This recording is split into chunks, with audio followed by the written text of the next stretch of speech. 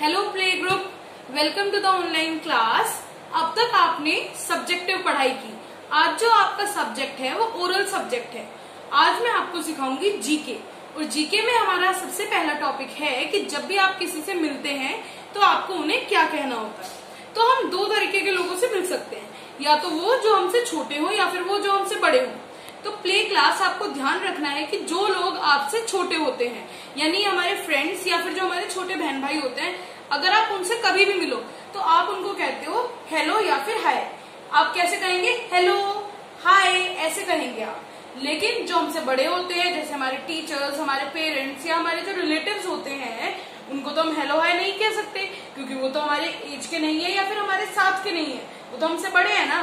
तो जो हमसे बड़े होते हैं ग्रीट करते हैं गुड मॉर्निंग या गुड आफ्टरनून या गुड इवनिंग जो भी टाइम चल रहा है, उसके अकॉर्डिंग अगर सुबह है तो आप कहेंगे गुड मॉर्निंग अगर दोपहर हो रही है तो आप कहेंगे गुड आफ्टरनून और अगर शाम हो रही है तो आप कहेंगे गुड इवनिंग और ये आपकी ड्यूटी बनती है कि जब भी आप सुबह उठते हैं तो आपके फैमिली में जितने भी मेंबर्स हैं, उन बड़े मेंबर्स को आप ग्रीट करें गुड मॉर्निंग गुड मॉर्निंग और जब रात हो रही है तो ये आपकी ज़िम्मेदारी है कि सोते समय आप अपनी फैमिली के सारे मेंबर्स को ग्रीट करें गुड नाइट तो आज आपने सीखा कि जब हम किसी छोटे या किसी बड़े इंसान से मिलते हैं तो हम उन्हें क्या कहकर बुलाएँगे?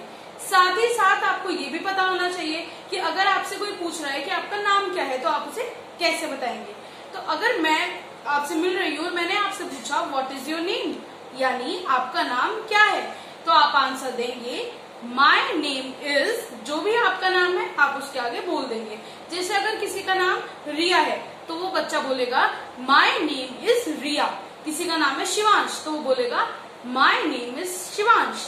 तो ये आपको ध्यान रखना है कि किसी को कैसे हमें विश करना होता है, कैसे ग्रीट करना होता है, साथ ही साथ हम अपना नाम दूसरे इंसान को कैसे बताते हैं।